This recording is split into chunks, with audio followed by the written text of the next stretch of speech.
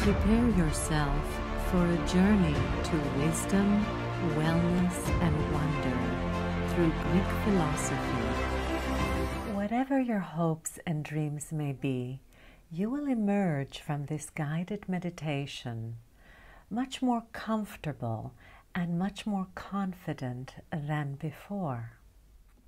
It will all seem effortless to you. Now prepare yourself, arrange your clothes, make sure your other devices are turned off so that we will have no disturbances during this guided meditation. Your hands should be to the side of your body with the palms facing upwards. At the end of this video, please like, comment, share it with your friends, and make sure you're subscribed to this channel. If you'd like to listen to today's session without any advertisement interruptions, head on over to patreon.com.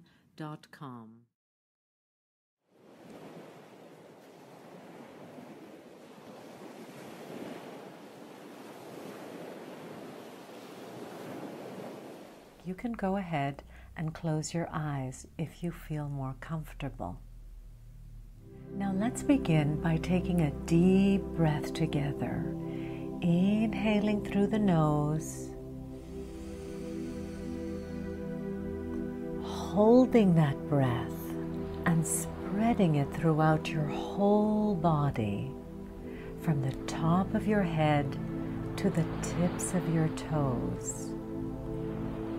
And only when you've spread the oxygen in your body can you then exhale through the mouth. Again, inhale deeply, deeply, deeply. Relaxing your facial muscles, relaxing your shoulders, spreading the oxygen to all the cells of your body and exhaling through the mouth with double the time so that really you empty out any stress. Once again, a deep, deep inhalation, relaxing your jaw in particular by dropping your mouth open, spreading the oxygen throughout your whole body relaxing your And again, exhaling double the time so that you feel deeply, deeply relaxed.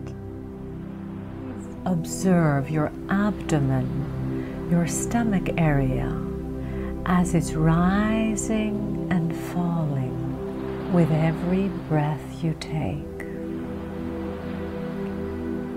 Observe how it inflates like a balloon every time you're inhaling, and how it deflates every time you exhale. Allow yourself to breathe naturally, relaxing and being comfortable with every breath you take.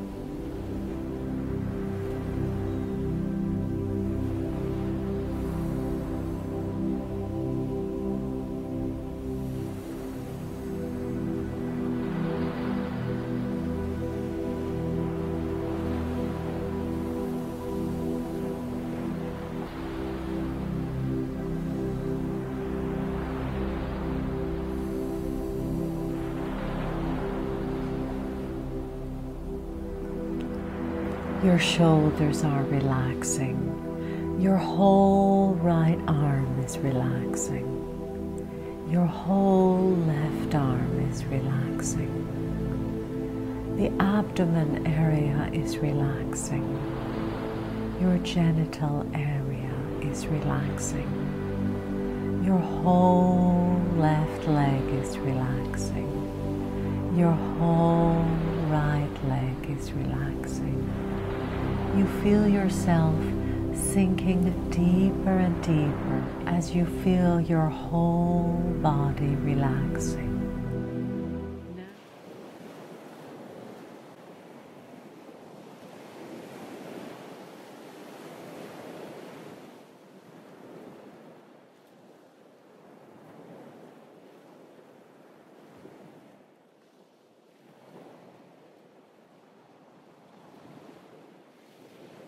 Living in agreement with nature and practicing the four cardinal virtues which we received from Plato and Socrates.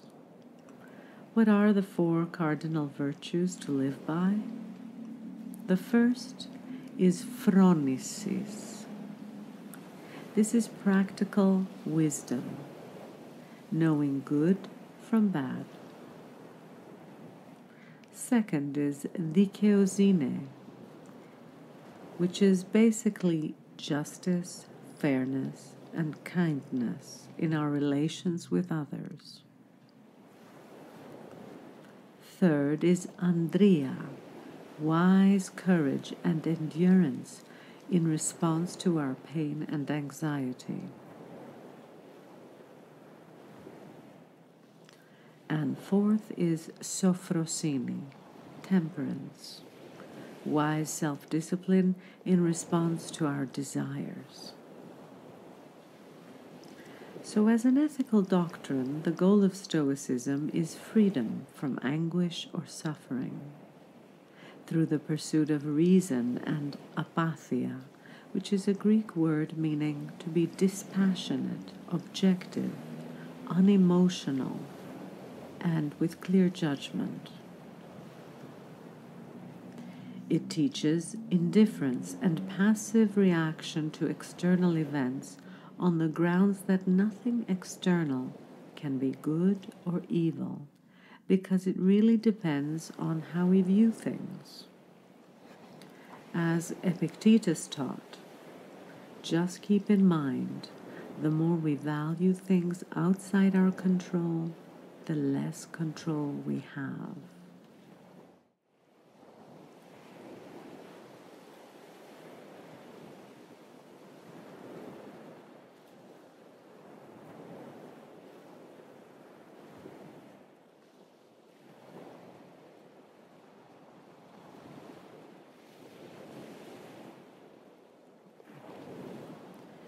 Stoicism therefore gives us back the power offering equanimity in the face of life's highs and lows.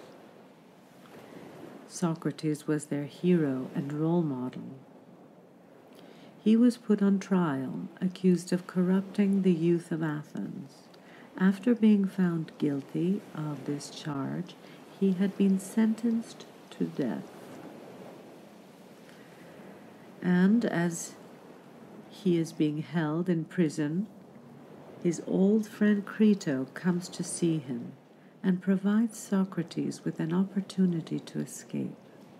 Socrates refuses to escape and accepts his impending death, making a choice in keeping with his values and character.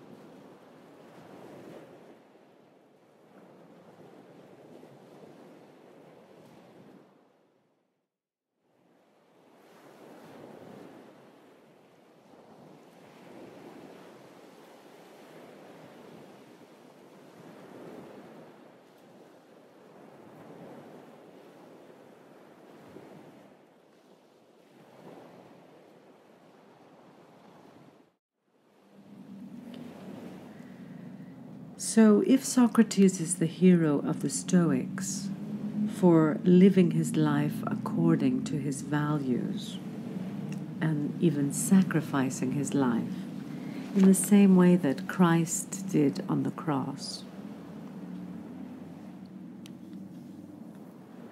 how does that reflect on you? What are you willing to give your life for? Not to die for, but to dedicate your life to. This is what you are called to do in this lifetime. Not to be a martyr like Socrates and Jesus Christ. Instead of giving up your life, in this case, you are asked to dedicate your life to something. What is that something? What is that cause for which you want to give your whole life? And therefore to rise and live as the people you worship. To become that person who sacrifices everything. That's not asked of you. No, not in this lifetime. What is asked of you is that you commit to something that you love and that you find worthy so that you can flourish on your path to making that a reality. This is what you are called to do. So ask yourself, what is that cause? And my dear friend, I can only recommend that it is something that is free of the external world, but rather it is a state that you desire, a state of inner freedom. What better cause to dedicate your life to than to perpetuate your own inner freedom at every moment?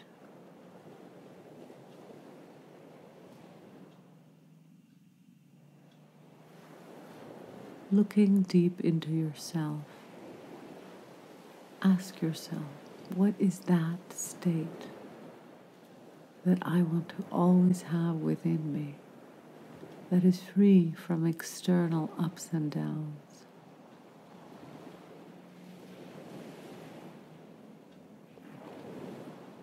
Something that is not affected by external events when you choose this experience, when you choose to practice this experience and make it your ethos,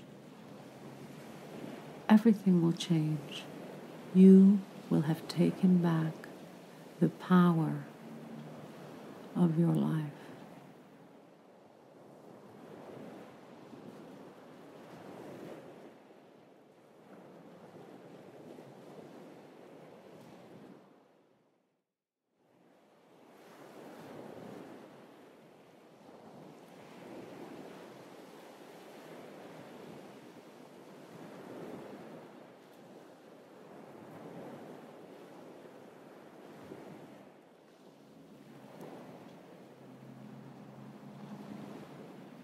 Maybe that's why Nikos Kazantzakis, the great Greek writer, once wrote, I fear nothing, I want nothing, I am free.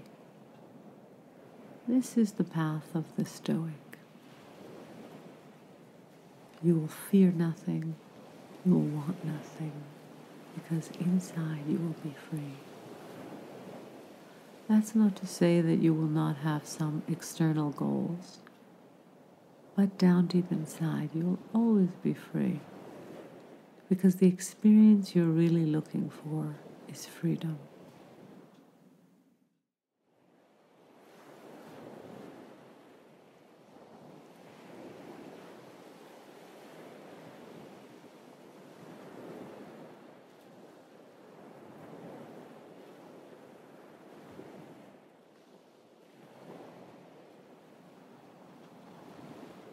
Freedom from reacting, the freedom to choose to lead yourself, to be the master of yourself. There is no higher cause than to be the master of yourself. Because only when you master and awaken to yourself can you ever help anyone else or inspire anyone else. It's like the life vests. First, you must put it on yourself and save yourself, and then you can help someone else. Practicing freedom is what Stoicism is all about. Every moment of every day.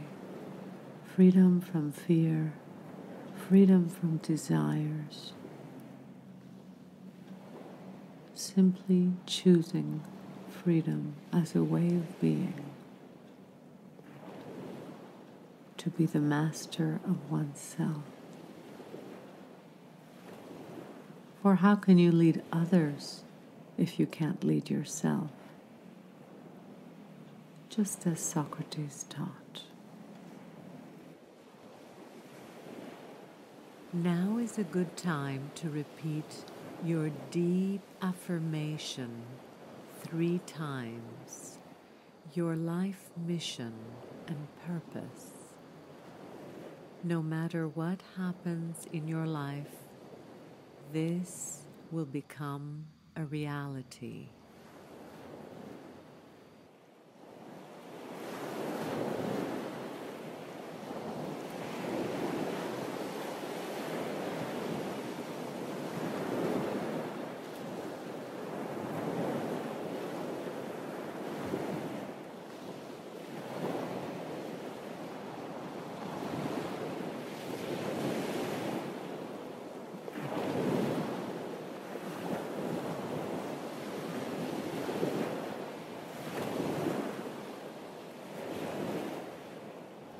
And now, on the count of three, you're going to return to full open awareness, returning to your ordinary life.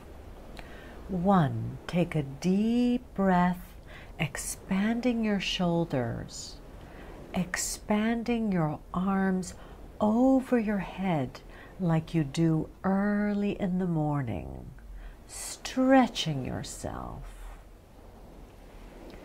two, take another deep breath and move your body stretching from side to side.